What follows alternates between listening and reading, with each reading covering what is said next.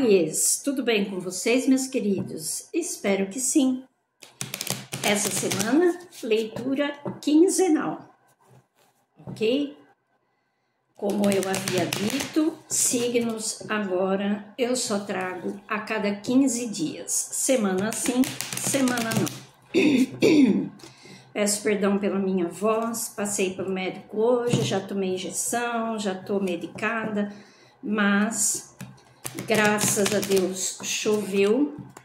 Eu sou aqui do interior de São Paulo, não sei se vocês viram as notícias, não sei de onde você é, mas aqui na nossa região, Jaú, Bauru, Ribeirão, o centro-oeste aqui, os, o, o, o centrão do estado, passou por uma queimada muito feia.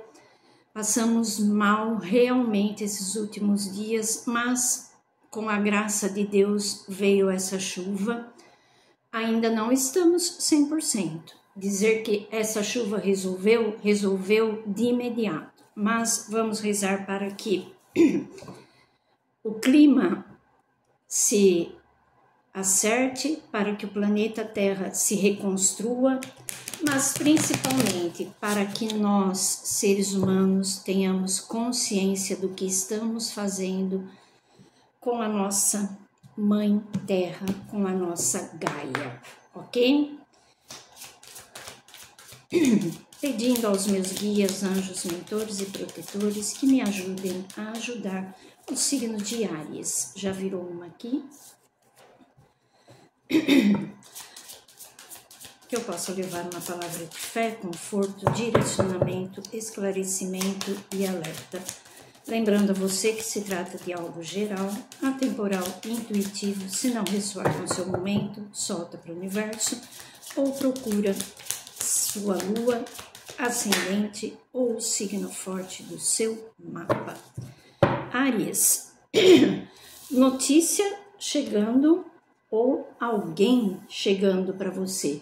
O trem me fala de pessoas chegando na sua vida, mas como veio precedido da carta da mensagem, eu digo a você que você vai receber alguma mensagem.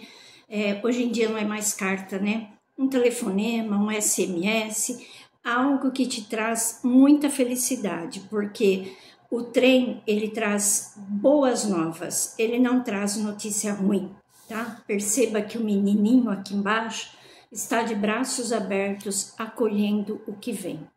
Então, eu posso estar falando de alguém que precisa abraçar a sua criança interior, receber as, as, os insights, as manifestações, as intuições que vêm do alto, mensagens espirituais, seu guia, seu mentor querendo trazer algo novo para você, ou a espiritualidade também. Por que, que eu falo espiritualidade? Porque eu tenho uma estrela aqui em cima, ó. Isso daqui não me fala de uma mensagem é, física. Perdão, gente, tá difícil, viu? Me fala assim de um de um pensamento, alguém que vai sussurrar algo no seu ouvido, você terá uma ideia de repente que você vai falar assim: nossa, como eu não pensei nisso antes, aqui me fala disso.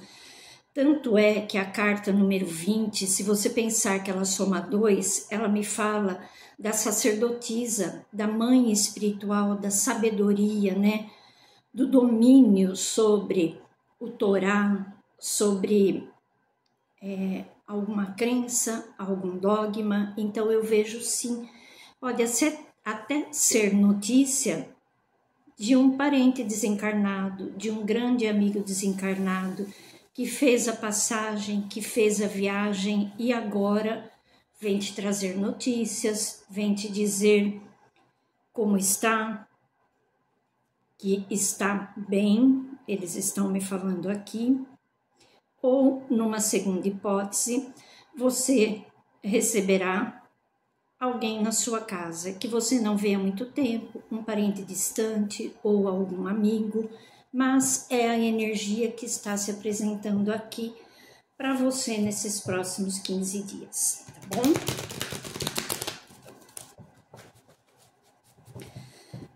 Gente, necessariamente não precisa ser de outra cidade, tá? Não é porque é trem, hoje em dia já nem, né, quase se viaja de trem, mas pode ser até mesmo da, da, da mesma família, da mesma cidade, cidade vizinha, um parente, um primo, um amigo que você não vê há muito tempo. E a gente sabe que acontece isso mesmo, né? A gente, às vezes a gente mora na mesma cidade ou numa cidade muito próxima, vizinha, mas a vida tão atribulada, tão cheia de correria, de, de, de afazeres, que muitas famílias se veem somente em datas comemorativas, né? Então, encaixe aí no seu momento. Se aparecer, você vai lembrar, vai falar, nossa, bem que a Maria falou, ok? Arias, a mensagem, o que essa mensagem está querendo me dizer nesses próximos 15 dias?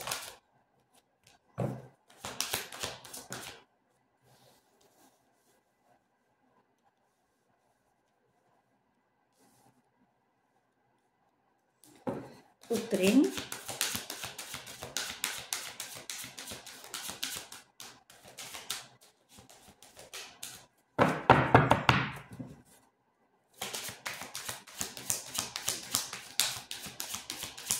o trem.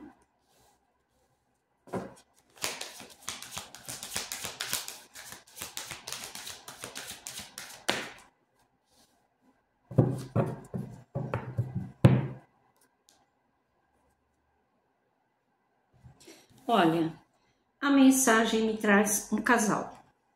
Então eu tô vendo aqui que você vai receber realmente essa mensagem, esse recado, essa notícia ou essa visita sobre esse, né, que é um casal, tá? Eu tenho aqui um casal real, uma rainha de ouros e um rei de espadas.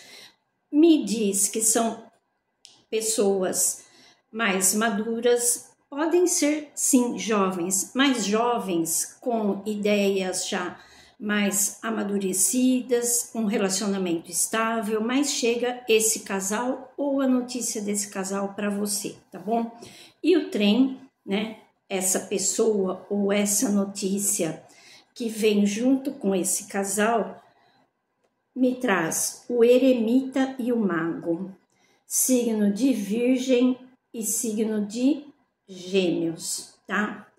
Nessa visita, nesse encontro, será um encontro onde vocês irão conversar, dialogar, procurar solucionar, procurar estratégias. Talvez esse casal venha à sua procura para uma orientação, porque veja bem, o eremita aqui na minha mesa, ele está de frente para esse casal. Então, esse casal talvez te procure nos próximos 15 dias para pedir um conselho, pedir uma luz aí, né? Fazer aí um, um cafofo, um atendimento fraterno, sentar, abrir o coração, pedir essa luz, porque talvez precisem tomar uma decisão, precisem é, buscar um caminho, uma trajetória em algo ou com algum fato da vida, talvez não estejam sabendo como lidar, o que fazer, e eles vêm buscar essa orientação com você, Ares, tá bom? Pode ser relacionado a emprego, pode ser relacionado a romance, a mudança. Olha, é, vamos supor que você é tia e vem aí um casal de sobrinhos e diz para você: Olha, tia, a gente recebeu uma proposta de emprego em outra cidade e talvez a tia possa nos dar uma orientação, algo do tipo. Alguém vai te buscar aí para te orientar, pra, quer dizer, para ser orientado, tá? O que mais esse casal veio me trazer em relação a essa mensagem? Perceba que a mensagem fala de espiritualidade e o casal vem buscar com você Orientação eremita tem a ver com luz interior, com sabedoria. Mago tem a ver com poder de cocriação, de trajetória de vida, de escolha. Eles estão em busca realmente de reconhecimento, de sucesso, eles querem um norte, um rumo para que lá na frente eles consigam o êxito, o reconhecimento, né, a glória, a estabilidade em termos de profissão e trabalho. Oito de copas, talvez precise que eles tenham que deixar algo, deixar uma situação, tá? Romper às vezes laços afetivos, mas eu não digo romper laços afetivos de briga, de romper definitivamente. Eu digo se desapegar. Por exemplo, aquele exemplo que eu dei. Ai, tia, a gente quer ir para uma outra cidade, a gente recebeu uma proposta de emprego, é um negócio novo, a gente acha que vai dar certo, que a gente vai conseguir ganhar mais, trabalhar melhor, refazer nossa vida ou construir a nossa vida. Mas a gente tem família, a gente tem pai, mãe, tem avó. Deixa ir, tá? Esse casal aqui está num, num, numa hora da vida onde eles já viveram o que eles tinham que viver com a família, eles já fizeram o que tinham que fazer. Agora é hora deles irem reconstruir, é, reordenar a vida, reorganizar, se refazer, tá? É, eu vejo aqui aquela coisa assim da, da síndrome do ninho vazio, não só por parte de quem fica, mas por parte de quem vai, né? Filhos, sobrinhos, parentes, a partir do momento que voam, né, não se sentem 100% seguros.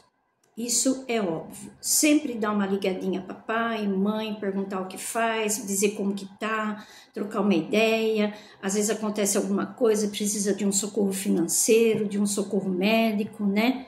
E quem fica também nunca fica 100%. Isso faz parte da vida, é inerente a qualquer ser humano, ok?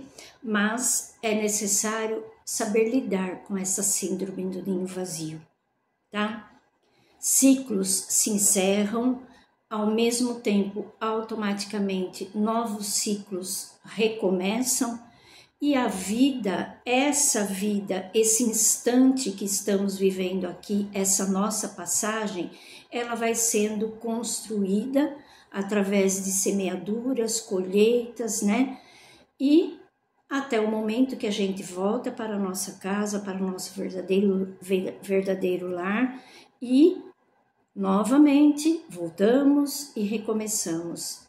A nossa vida é uma só, mas os nossos ciclos, as nossas trajetórias, as nossas reencarnações, vamos dizer assim, infinitas, tá bom?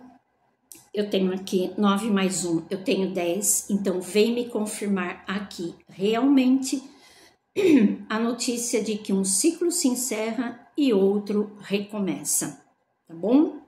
Vamos tirar um recado do Oráculo dos Anjos para esses próximos 15 dias diários.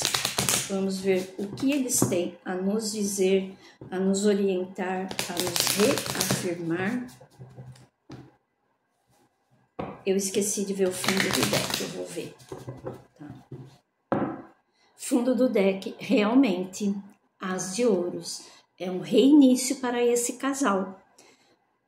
Esse casal, essa parceria, quando eu falo casal, necessariamente não precisa ser um homem, uma mulher casado, papel passado, tá? Eu digo aqui, eu vejo aqui uma energia masculina e uma energia feminina procurando o signo de Ares.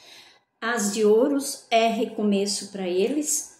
Oito de espadas, eles estão às vezes sofrendo por esse novo recomeço, mas é necessário. Olha o que eu tenho aqui: o Papa. O Papa fala de contratos, é, pactos, compromissos, tudo dentro de uma normalidade, de um, do convencional, do que é certo, do que é dentro sabe, de um bom caráter. Então eu vejo aqui Ares acolhendo e dando aí uma boa, dando um ombro amigo para esses dois que irão te procurar, tá bom?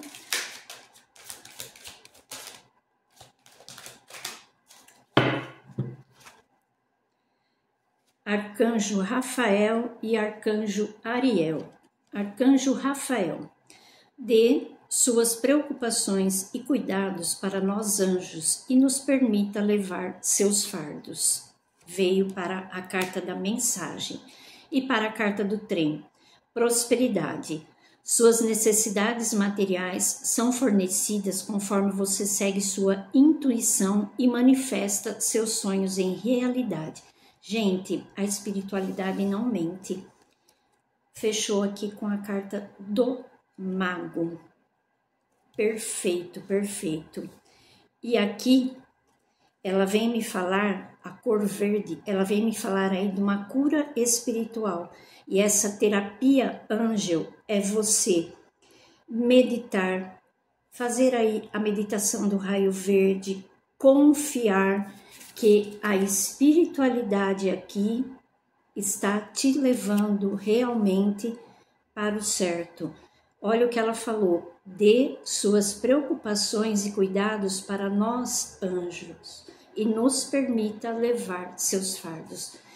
Vocês têm aí, Ares dará aí a esse casal, a essa parceria, a esse fato que terá.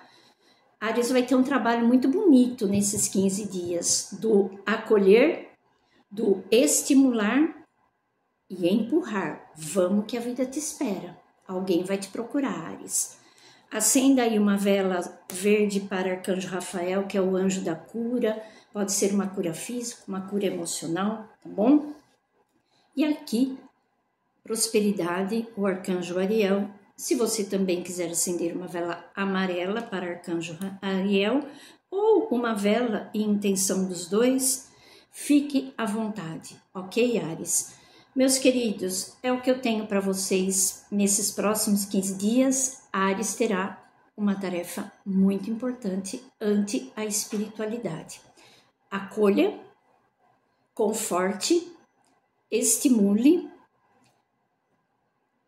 e ajude a levar esse casal ao sucesso, tá bom?